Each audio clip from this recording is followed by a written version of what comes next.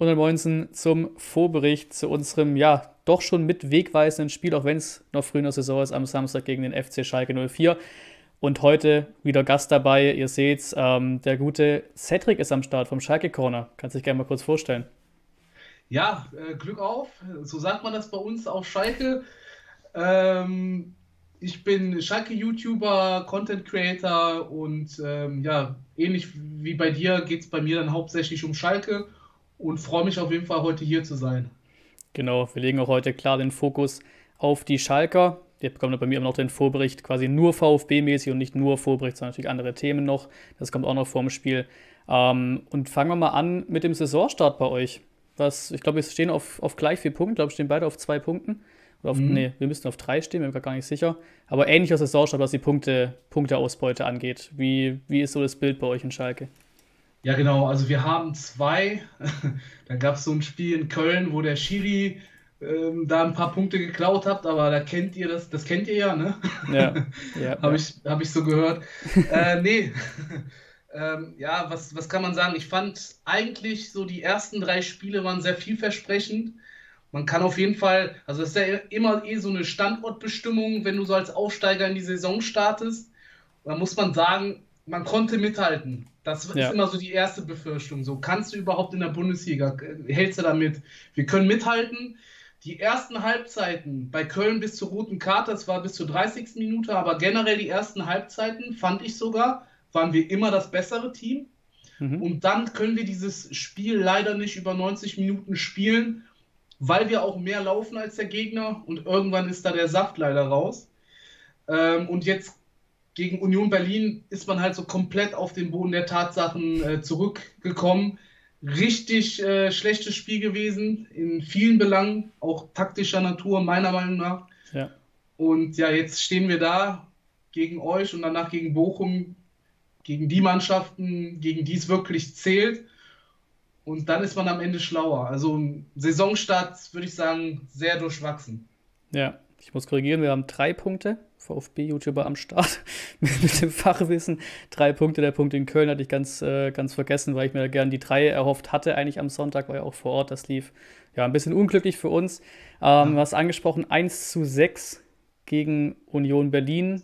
Ja, nicht unbedingt eine Mannschaft, von der man viele Tore erwartet, waren auch viele ziemliche, ziemlich freakige Tore dabei. Mhm. Ähm, ja, ist dann die, ist dann die Lage jetzt gerade schon so drastisch, dass man sagt, ach du Scheiße, so wie sollen wir uns in der Liga halten? Gibt es da schon auch die ersten, die ersten Gerüchte rund um Kramer vielleicht, der von Beginn an schon von vielen so ein bisschen ja, belächelt wurde, dass ihr den als Trainer geholt habt? Ja, und äh, ich persönlich war auch erstmal so, wo ich gesagt habe, Kramer, hm, passt das?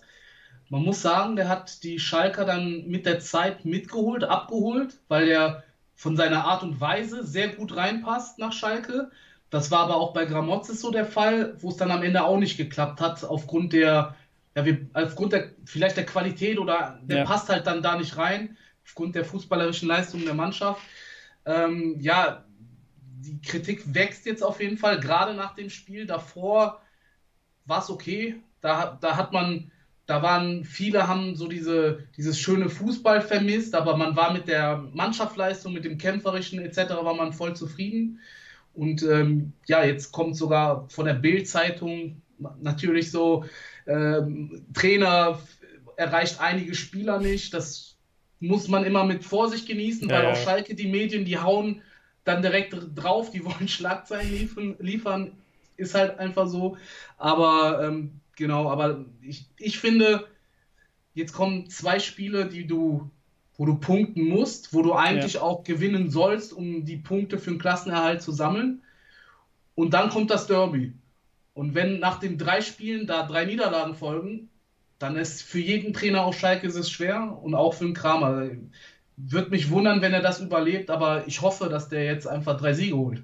Dann sind ja. wir alle, dann ist der fest im Sattel natürlich. Ja, komplett. Vor allem der dritte wäre gegen Dortmund, dann ist er eh erstmal unsterblich ja. auf, auf Schalke wahrscheinlich.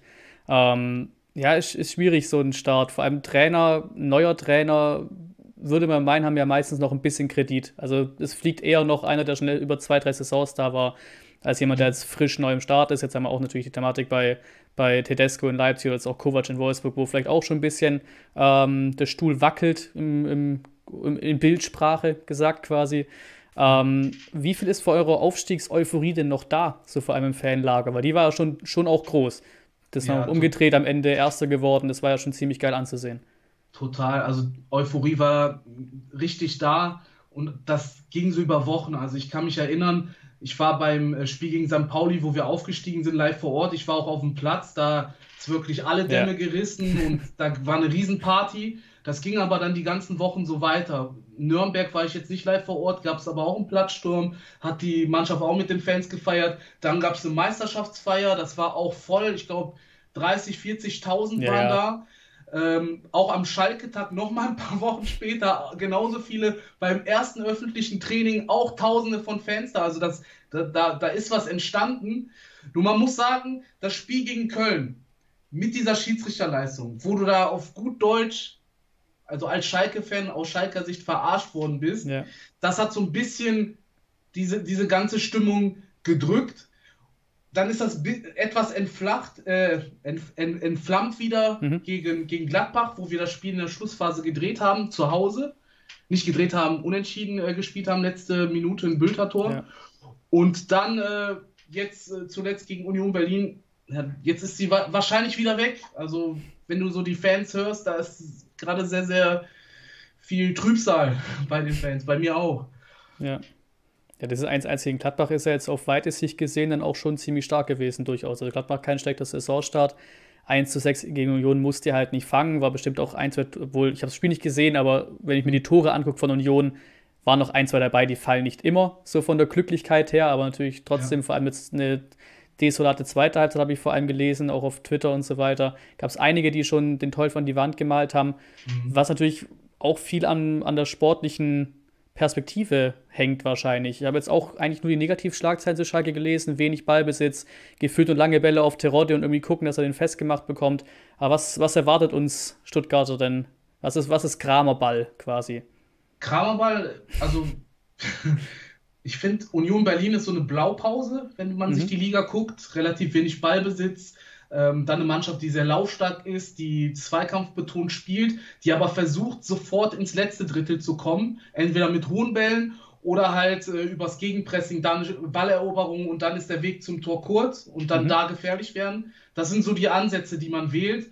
Ähm, ich finde, das ist jetzt nicht so das plumpe Spiel, also permanenten Ball nach vorne und dann ja, der liebe Gott hilft, das ist es nicht. Ähm, das ist auch nicht wie beim Gramozis, einfach der Ball links auf Ovean, dann eine Flanke und dann auf der Rodde hoffen in ja. der zweiten Liga. Das ist es auch nicht. Also wir, wir versuchen schon gepflegten Aufbauspiel mit Dreiecken, mit, äh, mit Doppelpässen etc. zu führen. Kommen nicht immer äh, dadurch, muss man ganz klar sagen. Da ist die Mannschaft nicht so gefestigt, auch ähm, von der Eingespieltheit her. Wir haben einen relativ großen Umbruch gehabt. Ja aber du kannst dir das so vorstellen, erste Halbzeit Powerplay, permanentes Pressen, ähm, vorne draufgehen, vorne attackieren, dann versuchen sofort die Stürmer in Szene zu setzen oder so ein Salazar, der da selbst mal dribbelt und einen Distanzschuss macht und äh, auch relativ viel über Flanken. Das ist so das Schalke-Spiel. Blaupause Union Berlin, aber alles nicht so, nicht so sicher, noch nicht so eingespielt. Das ist ja. alles noch sehr, sehr wackelig, würde ich mal sagen. Ja. Ja klar, so ist das Thema immer nach Aufstieg und Abstieg. Das hatten wir ja auch schon. Wir hatten ja auch, als wir abgestiegen sind, 18, 19, glaube ich, 20 Neuzugänge, 20 Abgänge und dann nochmal beim Aufstieg natürlich auch noch ein paar mit mehr Qualität geholt für die erste Liga. Das, da, da fehlt die Eingespieltheit natürlich. Ähm, wer bei euch ziemlich, wie will ich sagen, gehypt wurde, aber schon gelobt wurde, ist ja, ich sag mal jetzt mal Don Schröder fürs Transferfans. Ja. Ich habe auch manchmal drauf geschaut, gedacht, oh, gerade von den Ablösesummen her, das ist echt nicht viel. Wie, ja. wie blickt man jetzt drauf? Gibt ja auch da schon ein bisschen Kritik an Spielen, die jetzt vielleicht noch nicht 100% durchgestaltet sind, aber mein Gott, es waren vier Spiele bisher. Ja, das ist halt, das ist halt die Sache, ne? Also ich warte mich da jetzt, ich tue mich da schwer, jetzt ein Urteil zu fällen. Ähm, wenn du jetzt die aktuellen Spiele siehst und dann nur auf die Neuzugänge guckst und dann auch die Spieler, die gegangen sind, ähm, einer davon ist Chulinov, der hat bei ja. euch auch eine gute Vorbereitung gespielt solche Spieler fehlen halt. Itakura ist der beste Spieler in Gladbach. Äh, ja, Malik Chow ist jetzt, genau, Malik Chow ist jetzt gewechselt. Der war auch ein super Innenverteidiger gegen Wolfsburg, auch wegen ihm zu Null gespielt. Ein Freisel ist meiner Meinung nach aktuell besser als ein Schwolo im Tor. Also wir haben nach dem Ausstieg eine Menge Qualität auch verloren. die Spieler, die dann dazugekommen sind, können meistens im Moment noch nicht äh, viel dazu beitragen, dass wir ähm, gerade gute Leistungen bringen. Also die Spieler, die gerade ähm, im Fokus stehen, ist ein Salazar, der schon da war, ist ein Bülter, der schon da war, ein Ovejan und äh, ja, Schau hat auch gute Leistungen gespielt bis zu seinem Wechsel jetzt äh, gestern.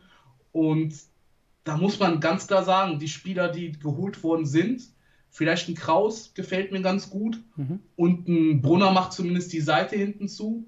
Die anderen haben alle irgendwo so ein, wo du sagst, wo du dir was vorstellen kannst, wo du, wo du was siehst in den Spielern, aber die es noch nicht über 90 Minuten abrufen können, ganz klar. Da sind viele individuelle Fehler mit drin, viel auch so, wo, wo man merkt, das liegt auch einfach an der Eingespieltheit, dass sie relativ neu dazugestoßen sind, aber auch sehr, sehr viele Spieler dabei wie ein Larson, der auch von vielen gehypt worden ist, der aber jetzt erstmal noch mal ein bisschen braucht. Der ist vom ja. Fitnesslevel noch nicht da, dass der weiterhelfen kann. Der hat eine lange Zeit nicht gespielt. Ein Kral hat auch eine lange Zeit in England nicht gespielt. Und da merkt man schon, dass bei dem einen oder anderen die äh, Matchpraxis auch fehlt. Und vielleicht kommt das noch über die Saison hinaus. Und was man nicht vergessen darf, wir haben jetzt gegen vier Mannschaften gespielt, die eher oben, äh, die ich ja. zum Beispiel als ein, also auf einen ein, einstelligen Tabellenplatz sehe, zumindest mal drei von den vier. Und ähm, ja, da ist das dann natürlich nochmal doppelt so schwierig, dann gute Leistungen zu zeigen, als gegen direkte äh, Konkurrenten im Abstiegskampf. Ja, 100 Prozent. Und wie gesagt, so schon angesprochen, bei den geringen Ablösesummen, wenn es überhaupt welche waren, Schalke konnte nicht viel ausgeben, das ist ja deswegen auch ein Schönhoff nicht gekommen, Itakura nicht gekommen. Ich meine, gut, Schönhoff hätte ich aus eurer Sicht auch nicht gemacht, für das, was wir ihn verkauft haben, wenn er bis, ja. bis an die 5 Millionen kommt aus England, da hältst du halt nicht mit und auch richtigerweise ist er, glaube ich, nicht wert, die 5 Millionen, aber die nehmen wir natürlich gerne mit. Aber so bei den geringen Ablösesummen kannst du grundsätzlich eh wenig falsch machen. So, dass, da wird mhm. nie einer großen Flop werden, weil du einfach kein großes Risiko dabei hast wer schon lange im Kader ist. Bei euch eine Legende geworden. Gut, in Hamburg hat das nicht geschafft. Beim VfB wurde eine Legende, bei Köln ja. Legende und davor Union und so weiter ist natürlich Simon Terodde. Da mhm. hatte ich schon damals gesagt, ähm, dass der, oder beim Vergleich zum Klos damals vor allem mit Bielefeld habe ich gesagt, mhm. das wird so ein Terodde-Syndrom, der macht in der ersten Liga nicht viele Hütten, nicht mehr als 4, 5. Er hat, glaube ich, 4, 5 gemacht auch dann Klos und bei, bei der Rotting aus Klebebild. Der hat bei uns nicht getroffen in der ersten Liga, bei Köln ein bisschen und bei euch scheint es auch nicht so ganz anzulaufen. Natürlich ein lästiges Thema für die ganzen Schalke-Fans, aber ja. da ist schon ein bisschen Wahrheit dran, dass der wohl vor allem zweite Liga kann und der ersten nicht so ganz ans, ins Laufen kommt. Ja, also der war halt der wichtigste Spieler oder zumindest vorne drinne. Der hat 30 Tore gemacht. Der hat uns zum Aufstieg geschossen. Das ist einfach so. Ja. Ohne Terodde wären wir nicht aufgestiegen, ganz klar.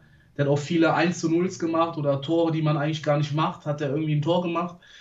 Und dann am Ende haben wir dann die Punkte bekommen. Und das ist halt, das, das, das will man auch vielleicht nicht so wahrhaben. So, ne? man, man, wenn man die Leistung sieht in der zweiten Liga, dann denkt man auch einfach, der muss funktionieren. Der, der wurde ja auch von uns wieder in die Nationalmannschaft geschrieben.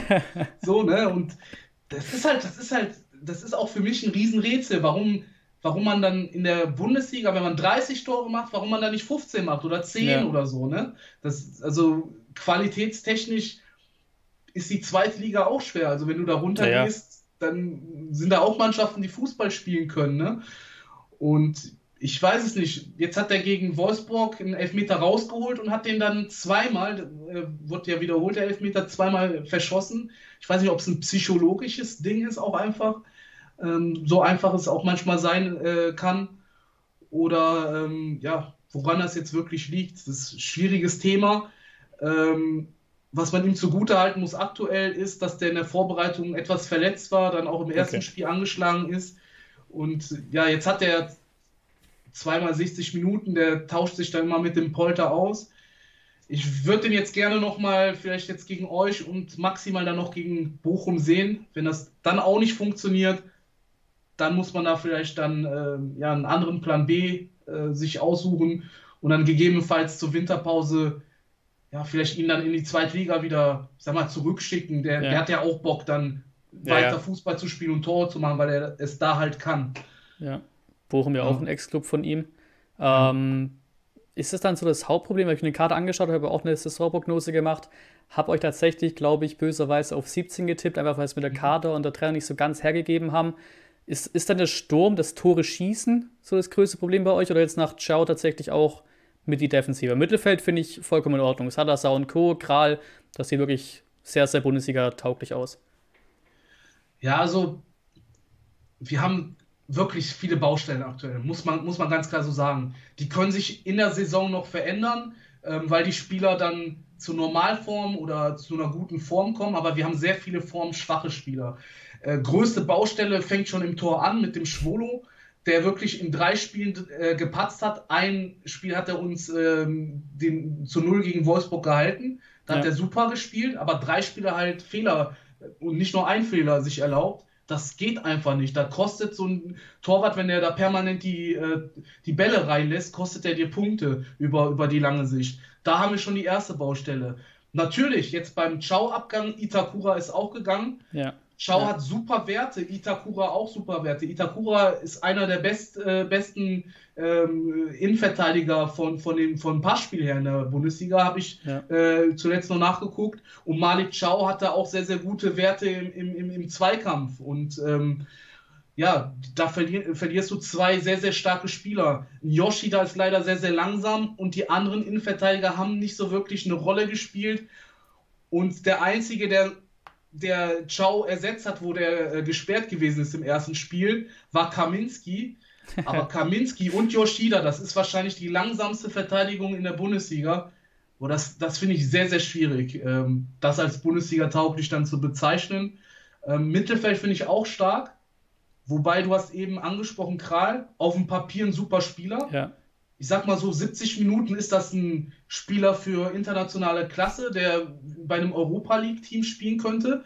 Aber dieser Mann erlaubt es sich halt im Moment, ich hoffe, da, dass der im, im Saisonver Saisonverlauf da wegkommt, haarsträubende Fehler macht. Äh, ja. Bälle spielt, wo du sagst, wie kann er das machen? äh, teilweise dann auch nicht mehr mithältst, gerade wenn es dann in Richtung zweite Halbzeit geht. Und da, das war einer der Fehler bei uns gegen Union Berlin, dass wir den Sechserraum nicht besetzt haben und die da wirklich äh, dann frei zu Nachschüssen gekommen sind, zweite Bälle da sehr, sehr leicht geholt haben und permanent dann Druck machen konnte. Und äh, vorne drinnen auch, also da hatten wir einen Bülter, der gerade treffsicher ist, aber der, der eigentlich die Tore machen sollte, der Rodde und auch der Nebenmann, der Polter, der auch als äh, zehn Tore-Stürmer aus Bochum gekommen ja. ist, sind beide torlos und beide noch nicht angekommen in, bei uns auf Schalke oder in der Bundesliga. Ja. Also sehr, sehr viele Baustellen, wirklich. Ja, natürlich auch davon ab, wie viele Bälle sie bekommen, wie sie gefüttert werden da vorne. Das ist natürlich als, ja. als Aufsteiger immer schwierig. So viele Chancen bekommst du nicht, dann musst du halt ja, eiskalt ah, wobei, sein. Ah, wobei, wir hatten schon viele Momente, wo dann die die Chance hatten und die dann nicht gemacht haben. Im letzten ja. Spiel Polter gegen Pfosten getroffen. Ähm, Polter im, im Pokalspiel, wo der wirklich neun oder zehn Torschüsse aufs Tor gemacht hat, aus allen möglichen Lagen, ob fünf Meter vom Tor oder was weiß ich, alle daneben. Äh, Terodde auch Elfmeter verschossen, hatte auch eine Chance gegen Union gehabt, äh, auf den Renault drauf. Also die haben schon, die haben schon Chancen. Schalke ist von den Chancen natürlich nicht auf Bayern-Level, ja. aber wir sind, wir, wir erspielen uns schon einigermaßen äh, gut die Chancen raus. Also die, die Stürmer bei uns, die haben schon ein paar Gelegenheiten, das auf jeden Fall. Gerade in der ersten Halbzeit immer. Aber die, ähm, die Gelegenheiten, äh, die die haben, machen die nicht rein. Ein Bülter trifft aktuell auch meistens vom Punkt, aber hat auch schon ein Kopfballtor gemacht. Ja, da, da ähm, sehe ich auch die Stürmer in der Pflicht, auf jeden Fall. Ja, dann haben wir da eine Gemeinsamkeit. Wir kennen Chancen Chancenwuch aus letzten Saison, deswegen haben wir uns ja auch so tief reinreiten lassen in die Liga oder in die Liga äh, Abstiegskampf in die Tabelle mhm. unten reinreiten lassen, vor allem diese Saison auch wieder. Siehe Köln, sieht, dass der zwei, dreimal frei aufs Tor läuft, so Geschichten. Da haben wir auf jeden Fall Ähnlichkeiten. Ich habe jetzt gelesen, äh, ist der Name entfallen, aber dass der holländische Innenverteidiger von Liverpool kommt. Was passiert sonst noch so auf Schalke bis zum Deadline Day? Genau, also der ist, glaube ich, schon sicher äh, da. Ich glaube, da ist von den Berg oder sowas. Ähm, sagt mir ehrlicherweise nicht so viel. Ich habe nur gelesen, der hat jetzt äh, in der Championship, zweite englische Liga, äh, zwei Jahre lang Stamm gespielt, 50 mhm. Spiele oder so gemacht. Also der hat zumindest mal Erfahrung im Profiniveau, trotz seines jungen Alters ist ja. der jetzt keiner, der aus der Jugend direkt hochgekommen ist. Ähm, ich habe gehört, der soll schnell sein. Viele haben geschrieben, der ist äh, besser als ein Schau. Glaube ich nicht. Ja, Ciao ist U21-Nationalspieler, ja. Stammspieler, wechselt jetzt für 10 Millionen. Ähm, viele haben auch beim Larson geschrieben, der wird, der wird in der Bundesliga alles äh, äh, kurz und klein spielen und ja. so weiter und so fort. Da bin ich erstmal skeptisch. Ich, ich will mir den erstmal angucken. Ähm, wichtig ist, dass wir auf jeden Fall jetzt einen schnellen Innenverteidiger geholt haben, de, weil wir da de facto auch einen schnellen brauchen neben, neben Yoshida, der zumindest mal äh, Kapitän von der japanischen Nationalmannschaft ist. Das wird man auch nicht einfach so. Hat auch viel Erfahrung, Premier League und so weiter gespielt, Serie A. Ähm, vielleicht, braucht, wenn, wenn sich da das findet, vielleicht kann er mit seiner Erfahrung vieles äh, wettmachen. Im letzten Spiel war wirklich ein Spiel, wo der sehr, sehr schwach gewesen ist. Äh, davor war der eigentlich in Ordnung. Da, da, hoffe ich, dass das gut zusammenfindet. Ja. Ansonsten, ja, wie gesagt, guck mal, du kannst jetzt keinen neuen Torhüter eigentlich holen, weil du hast den nee, Schwolo als ja. Nummer 1 geholt, ne? Aber normalerweise, wenn du jetzt die drei Spiele gesehen hast, wie der gespielt hat, du brauchst eigentlich einen neuen Torwart. Das ist einfach so. Außer der kriegt noch eine Kurve und da, das wünsche ich mir vom ganzen Herzen, dass der normale Leistungen zeigt. Ich habe am Anfang gedacht, okay, der unterläuft die Bälle permanent. Der hat Probleme ja. im Stellungsspiel im Strafraum. Jetzt seit den letzten Spielen klebt er nur noch an der Linie, was gegen Wolfsburg funktioniert hat. Aber jetzt ja. hat er leider gegen Union dann auch einen Fehler gehabt, wo der einfach einen Ball ins eigene Tor gefaustet hat. Ja, ja. Dann kommen auf einmal so Fehler auch noch dazu weil er hat zwischendurch schon immer mal wieder gute Paraden gezeigt. Das ist natürlich dann sehr, sehr bitter. Ähm, wir brauchen eigentlich Speed, Geschwindigkeit. So ein Schulinov fehlt eigentlich. Ja. Uns fehlt auch einfach Qualität, Spieler, die sofort weiterhelfen, die die Mannschaft äh, ja, besser machen. Wir haben viele Mitläufer, die dazugeholt worden sind, aktuell. Vielleicht machen die noch was. Und vorne eigentlich auch so einen richtig bulligen Stürmer, der, ja, der, der, der viele Tore einfach dir verspricht, weil da auch aktuell Ladehemmung ist. Also viele Baustellen. Ich, ich, ich persönlich glaube, dass maximal noch einer kommt jetzt nach dem Innenverteidiger. Ich glaube, da wird nicht mehr viel passieren. Ich glaube, ja. auf der Abgangsseite wird vielleicht noch ein, zwei Spieler verliehen und der Harit hoffentlich verkauft. Wobei ich mir eigentlich wünsche, dass er bei uns noch spielt, weil er einfach die, diese Qualität ist, äh, hat, die, die ich mir wünsche, und, aber der ist halt nicht bezahlbar. Ähm, ja, das sind halt meine Erwartungen, aber ich wünsche, dass da noch, noch viele Verstärkungen kommen, aber das wird nicht passieren, glaube ja. ich. Das Budget ist ja auch nicht da. Aber was, was, ja. was macht man dann mit dem Arid, wenn er nicht, wenn er keinen Verein findet? Dann kann er ja eigentlich auch nicht versauern oder was, was macht man da mit ihm? Ja, also der, also man will den verkaufen. Plan B wäre Laie. Mhm. Und Plan C wäre, ihn zu verleihen mit Gehaltsübernahme, wo Schalke dann Teile des Gehalts übernimmt, ah, okay. sodass der aufgenommene Verein dann eine Differenz hat, die, wo Schalke immer noch Geld spart. Ja. Aber ja, das sind halt die, die, die, die Möglichkeiten, die es derzeit gibt. Je länger der Deadline, die, äh, je kürzer es ist bis, zum, bis zur Deadline, dann ähm, geht man ja dann irgendwann zum Plan C über. Es gab immer mal wieder lose Gerüchte, Problem an der ganzen Sache ist, Harid will wirklich auch ja, keine Einbußen beim Gehalt machen. Ja, das hat okay. auch, das hat der, man Galatasaray oder so war interessiert, die wollten halt weniger Gehalt zahlen und dann klappt das nicht. Harid hofft wirklich auf ein Angebot noch von Marseille, wo der echt eine gute Serie gespielt hat im letzten Jahr, wo der verliehen war. Aber das Problem da ist, dass der Trainer gewechselt ist und die scheinbar okay. jetzt da ja, Alexis Sanchez geholt haben und da stimmt, ganz andere. Ja, stimmt. Stimmt, Marcel ja. trägt gerade ein bisschen am Rad. Es gab das ja gerade die Ronaldo-Gerüchte, also ganz, ganz wild. Aber ja. Harid müsste ja eigentlich, also irgendwie in irgendeiner Form müsste der einen Markt haben. Also so verkehrt ist der ja nicht. Das ist halt die Frage. Eigentlich schon. Also ich würde mir, wie gesagt, wünschen, wenn er hier bei uns spielt, ja. hätte ich absolut nichts dagegen. Der, der ist ein guter Kicker und macht eigentlich viele Mannschaften besser. Hat auch jetzt in Marseille gute Leistung gezeigt. Normal ja, aber der verdient halt eine Menge Geld. Das ist das Problem. Ja. Und jetzt kommt dann unser Spiel am Samstag. Ausverkaufte Hütte, so wie es es gehört. Wobei man hier auch sagen muss, bei uns nicht so schwer die Saison. Wir haben ja etwa 10.000 Karten weniger zu verkaufen, weil unsere gesamte Haupttribüne ja mhm. eine Baustelle ist, oder die Hälfte davon quasi. Da ist es dann nicht so schwer, 60.000 auszuverkaufen, sondern eben, lass es 48,5, 49 sein. Trotzdem ja. schöner Slogan, ausverkauft. Ich denke mal, dass von Schalke aus alles ausverkauft sein wird. Da können jetzt auch nur noch so grob 4.500, 5.000 Auswärtsfans mitkommen. Ähm, mhm. Und für beide ein wegweisendes Spiel. Wir hatten jetzt noch ein Spiel in Köln, wo man durch die rote Karte sagen muss und wirklich grob 40 Minuten in Unterzahl sagen muss, in Köln 0-0, okay, Punkt nimmt man mit. So von, mhm. der, von der Richtung her. Andererseits hattest du halt 8 zu 3 Chancen. Da waren es vielleicht doch eher zwei Punkte, die du hast liegen lassen. In Bremen letzte Sekunde den Ausgleich gefangen. Hättest du auch drei statt nur einen mitnehmen können. Und es war schon von Beginn an der Saison oder von, schon vor der Saison klar, wenn du diesen Spielplan anguckst. Leipzig zu Hause hat eigentlich keiner mit irgendwas gerechnet. Der Punkt mhm. nehmen wir komplett mit. Bremen auswärts hätte ich mir einen Punkt erhofft. Dann hast du Freiburg zu Hause immer schwierig, verlieren wir die letzten Jahre immer knapp, haben wir es auch wieder getan. Und in Köln mhm. hatte ich mir auch einen Punkt erhofft. Also so diese zwei drei, zwei, drei Punkte gehen schon in die Richtung, aber da war schon klar, scheiße, fünfter Spieltag, dann kommt Schalke zu euch als Aufsteiger. Ja.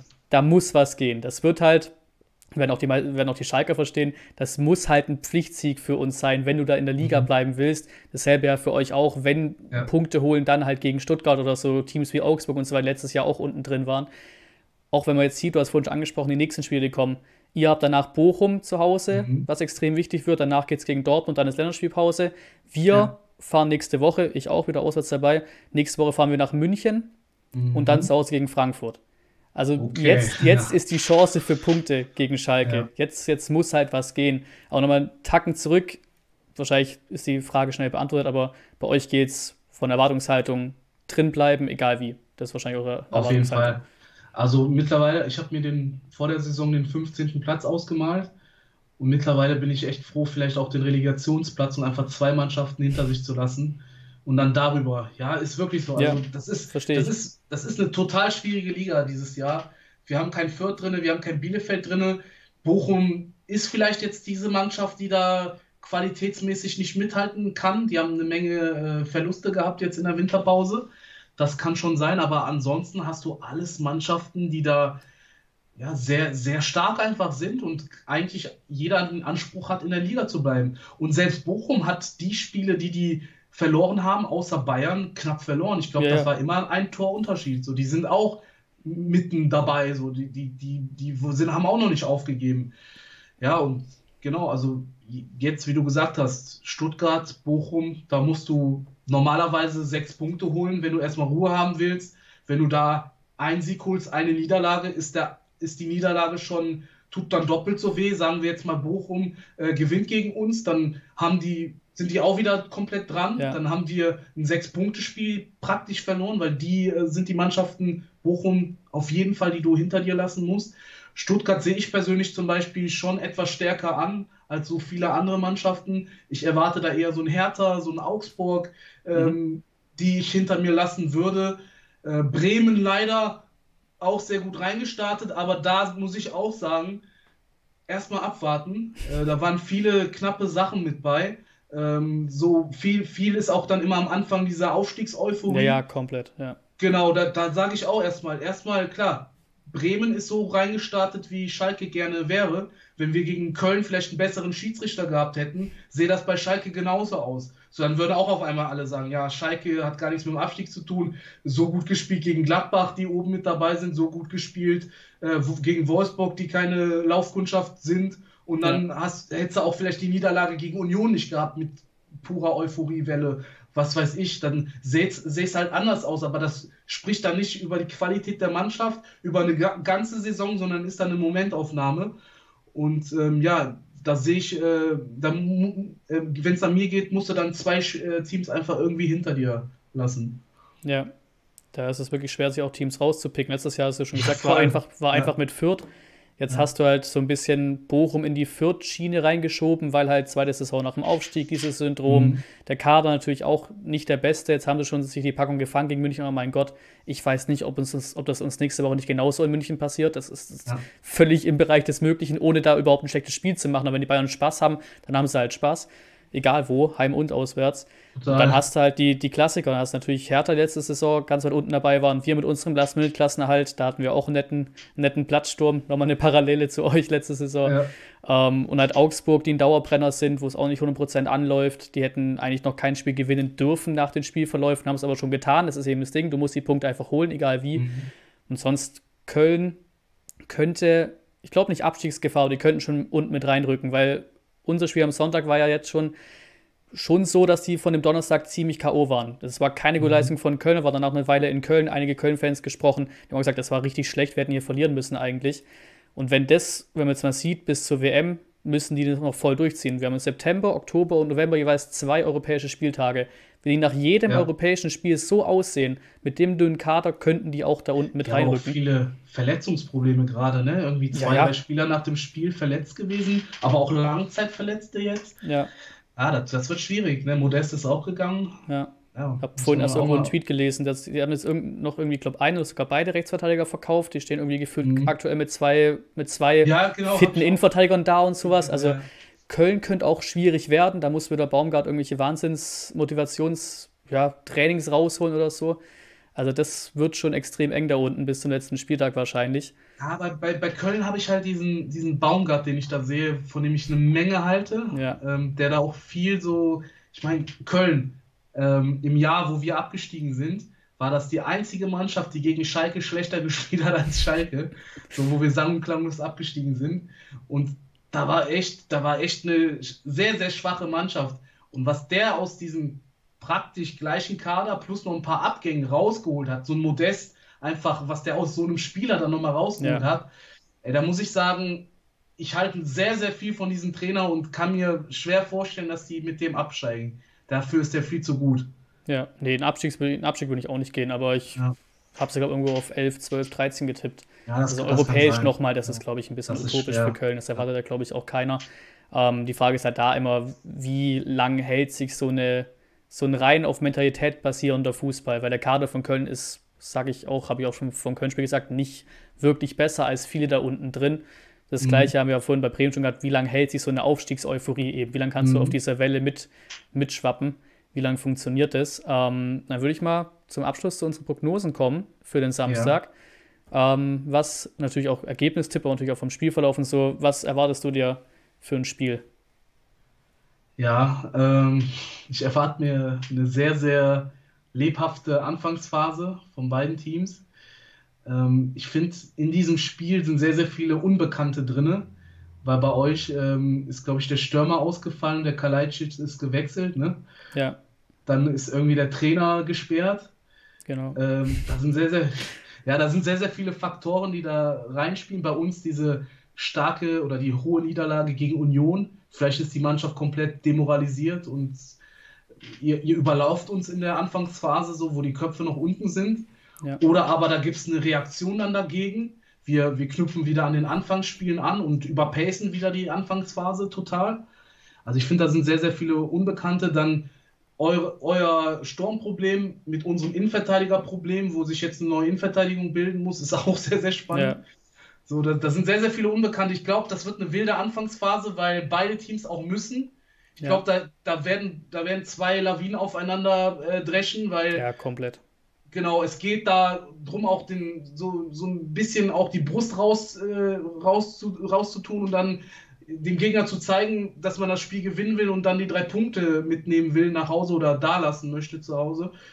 Und ja, eine sehr, sehr wilde Anfangsphase, glaube ich. Dann wird sich da ein Team durchsetzen. Ich glaube, wenn, wenn ihr in Führung geht, kann ich mir sehr schwer vorstellen, dass wir da nochmal zurückkommen. Ich glaube, wenn wir in Führung gehen, könnte es sein, dass ihr in der 60. Minute aufwärts dann nochmal über Oberwasser kriegt und dann irgendwie den Ausgleich macht. Ja. Also ich tippe mal aus Schalker Sicht optimistisch auf ein 1 zu 1, weil dann würde mein Matchplan so aufgehen. Ja. Ähm, kann mir natürlich auch vorstellen, dass wir dann äh, komplett untergehen, wenn, wenn ihr da in Führung geht. Da, da, damit fällt vielleicht auch das Spiel. Ja, die Anfangsphase wird heiß, weil bei uns war das Problem, du hast gegen Leipzig nach acht Minuten das 1-0 kassiert, in Bremen nach vier, gegen Freiburg nach zehn ja. oder elf waren es, glaube ich.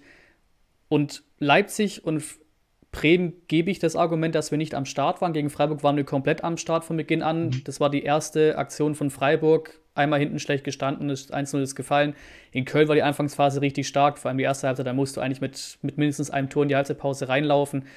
Deswegen, ich glaube, wir werden da schon beide, wenn du mir so ein bisschen auch erzählst, dass eure ersten Halbzeiten besser waren, wird ja, wahrscheinlich total. die Anfangsphase ziemlich, ziemlich heiß werden und da eben der, beide Vereine gucken, dass man hier erstmal die Überhand gewinnt, am besten in Führung geht.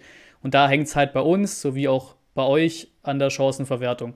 So, mhm. Sturmproblem mhm. ist vielleicht gar nicht so hoch, weil ich brauche jetzt eh noch okay. keinen Startelf-Tipp aufzumachen für Samstag. Wir haben den Deadline Day noch. Kalajdzic ist noch nicht offiziell, aber wird wechseln. Sosa könnte noch wechseln und dann soll ja für Kalajdzic noch Ersatz kommen und so weiter und so fort. Pfeiffer ist jetzt für drei Spiele raus. Dafür kommt Tomasch zurück, der letzte Woche noch Mandelentzündung hatte. Damit hättest du den Doppelsturm von Silas und Tomasch. Also an und für mhm. sich passt es erstmal. Mache ich mir keine Sorgen um den Sturm, eher eben um die Bank, weil dann da ist da halt nicht mehr so viel da. Ähm, und dann, ja, ist es halt trotzdem, ich bleibe dabei, du musst halt gewinnen. Das ist ganz simpel. Du fährst die Woche drauf nach München, da hast du Frankfurt. Verlieren darfst du auf jeden Fall nicht gegen Schalke zu Hause. Ähm, und wenn du die anderen Teams anguckst, dann ist halt Schalke gerade anfällig. Du spielst gegen, gegen ein Schalke, das gerade 1 zu 6 verloren hat wo die Abwehr noch nicht ganz, noch nicht ganz zustande gekommen ist, noch nicht ganz zusammenspielt, wo der Keeper vielleicht ein bisschen Probleme macht, wie du schon gesagt hast. Also, wenn nicht Schalke, gegen wen dann? Also, wenn wir gegen Schalke zu Hause verlieren, würde ich mir wirklich, wirklich Sorgen machen. Unschieden kann mhm. immer passieren. Einfach Chancenverwertung. Hat man oft genug solche Spiele, wo du halt doppelt so viele Chancen hast, doppelt so viele Torschüsse, aber einfach zu blöd bist dafür. Ähm, aber muss hier, ich muss hier ganz optimistisch auf den Heimsieg gehen und ich mache diesen, diesen klassischen 3 zu 1 Tipp, würde ich, würd ich mal sagen. Ey, also ich gebe dir da voll recht. Also wenn ich mir jetzt ein Team aussuchen könnte, gegen das ich spielen würde, ich würde mir auch scheiße. ist leider so, ist, ist einfach so. Gerade jetzt auch nach der Niederlage. Ja. ja. Wobei wir aber halt trotzdem, das ist zum Glück eher in der Vergangenheit, das war auch der Klassiker gegen Köln, letzten, von den letzten zwei, drei Saisons, wo man noch im Abstiegskampf richtig gespielt hat und so weiter, wäre dieser Schuss, den Müller dann noch Weltklasse rausgehext hat, mhm. wäre der reingegangen, hätte das Spiel völlig unverdient 1-0 verloren. Das passiert gerade nicht und früher waren wir eben auch gerne ein Team, das dann ja die Punkte quasi verschenkt hat oder eben Aufbaugegner mhm. gespielt hat, was ja gerade bei euch zum Beispiel der Fall wäre mit Reaktionszeigen für euch. Wir haben auch gegen Kramer schon ein, zwei Spiele unange unangenehm verloren, als er noch bei Bielefeld war. Also vielleicht hat der irgendwie ja. einen Spielplan gegen uns. Ich hoffe es natürlich nicht. Du hast ein Heimspiel, das ist auch natürlich der Riesenvorteil. Wäre es auf Schalke, würde ich wahrscheinlich auch sagen, Punkt von mir aus, aber mhm. gewinnen wäre auch schön. Aber zu Hause ist das halt nochmal doppelt. Man denn was, ganz kurz so eine Frage, merkt man denn was von dieser Tribüne, die da äh, bearbeitet wird an der Stimmung? Nee, nee, nicht, nicht wirklich, okay. weil das ist so, ohne jetzt irgendwie nicht das Sitz angehen zu wollen, das ist eher so der Bereich, wo ja, am wenigsten rauskommt. Haupttribüne ist der teuerste Bereich, das ist so, ja. das ist ja gerade der Bereich, der bearbeitet wird, so VIP-Bereich und der Medienbereich da drumherum. Also es ist nicht, nicht die, die Stimmungsherkunft vom Stadion. Also das, das macht tatsächlich nicht so einen großen Unterschied. Du hast ja unteren Bereich, Haupttribüne hat und der Oberrang, da sitzen noch welche. Also da kommt ein bisschen Stimmung her. Du hast halt unten diesen Krater, diese Baustelle, den mhm. sie auch, warum auch immer, nicht abdecken. Das ist ja halt wirklich einfach eine Baustelle, die du mhm. sehen kannst im Stadion auf den TV-Bildern. Weiß nicht, ob sie ja. da mal eine Plane drüber hängen wollen oder so, weil es ist echt nicht so ganz schön. Äh, aber die Stimmung ist weiterhin da, Kurve ist da und so weiter. Also daran, daran scheitert es nicht. Okay, ja, ich, ich, ich freue mich aufs Spiel. Ähm, schauen wir mal, ne? Genau. Bin mal sehr gespannt. Hab's schon bei, bei Nico auch gesagt, bei Bremen, bei Schalke genau das Gleiche. Freue mich riesig, dass ihr zurück seid in der ersten Liga. Bei, stimmt, stimmt, das fällt mir gerade ein. Die Bremen-Doku fand ich sehr geil. Bei euch ist doch auch was auf dem Weg. Weiß man schon, wo das kommt, ob das kommt, wann? Genau, also äh, Doku, ähm, ich glaube, das, das fängt an mit dem Abstieg, also wo man komplett am Boden ist und mhm. dann mit dem Aufstieg. Also sehr, sehr geil. Weil Bremen ist zwar auch abgestiegen, aber ich glaube, das ist nochmal was komplett anderes als bei uns gewesen, weil ja. äh, wir sind wirklich fast Tasmania-Berlin-Rekordfutter ja, ja, eingestellt. Das war, das war, schon richtig krass, ja. Und ähm, die wird, glaube ich, auf RTL Nitro kommen und da gibt es auch schon einen, einen Zeitpunkt. Ich meine jetzt diesen Monat oder im September. Äh, ja, muss im September sein. Ich meine Mitte September und das wird auch in der Arena die Erstveröffentlichung äh, gezeigt. Das ist geil. Ja. Das ist sehr, sehr geil. Ja, stimmt, die Abstiege waren schon unterschiedlich. Weil in der Saison hatten wir auch das 5 zu 1 gegen euch, das war das letzte Heimspiel gegen euch, da lief es auch bei uns halt einfach komplett. Das war halt diese, das, der direkt, direkte Wiederaufstieg und diese 2021-Saison, mhm. wo wir, glaube ich, am Ende Neunter wurden, noch fast in die Conference gekommen wären. Ähm, bei Bremen war es ja, glaube ich, also bei euch hat man klar gewusst, yo, wir steigen ab. Das war irgendwann ja, fest ja. klar und die Stimmung war schon ein paar Spieltage vor Schluss völlig am Boden. Bei Bremen kam es ja wirklich ich glaube, die konnten es gar nicht, die haben es gar nicht richtig, richtig, mitbekommen, dass sie abgestiegen sind. Die sind ja wirklich, die, ich weiß mit, mit Nico saß ich da in der Rückrunde bei unserem Talk, wegweisendes Spiel, wird es Richtung Europa oder wird es doch Richtung Mittelfeld ja. und Tabellenende? Und dann verlieren die da am Stück ihre ganzen Spiele und sind am Ende dann ja. doch weg, holen noch ein Thomas Schaf war es, glaube ich, am Ende noch. Ich glaube, das war so ein bisschen, ja, ein schleichender Prozess und haben es gar nicht so richtig Total. mitbekommen, so, warum sind wir jetzt eigentlich abgestiegen? Warte mal, hups. Bei euch war es halt so knallhart schon die ganze Saison. Ja, das war ein Schlag in die Fresse. auf gut Deutsch. War einfach so, ja. Ja. Aber dann freue ich mich sehr auf die Doku. Ich hoffe, ja. hoffe muss dann für nicht zahlen, aber selbst wenn, ich glaube, die ziehe ich mir rein, habe ich Bock drauf. Wie lange bist du ja am Start warst? Sehr gerne, hat mir mega Bock gemacht, ähm, immer wieder gerne. Und Stuttgart ist auch ein Verein. Du hast eben gesagt, Schalke gefreut, Bremen gefreut, muss in der Bundesliga bleiben. Wenn es nach mir gehen würde, würden so Mannschaften wie Hoffenheim oder ja, ja. nicht, RB oder sowas runtergehen. Ne? Aber die sind halt alle, die haben halt alle noch ein bisschen was dahinter. Ja, das ist wie beim Spiel in Köln, habe ich es auch schon angesprochen. Stuttgart, Schalke, Köln, Stuttgart, das ist alles Bundesliga pur. Ja. Von der Stimmung her, das wird alles richtig geil. Wir haben ein zweites Video aufgenommen bei dir auf dem Kanal, beim Schalke Corner. Checkt ihn gerne ab. Lasst natürlich auch hier gerne das kostenlose Abo da, wenn es euch gefallen hat. Ich danke fürs Zuschauen und bis zum nächsten Mal.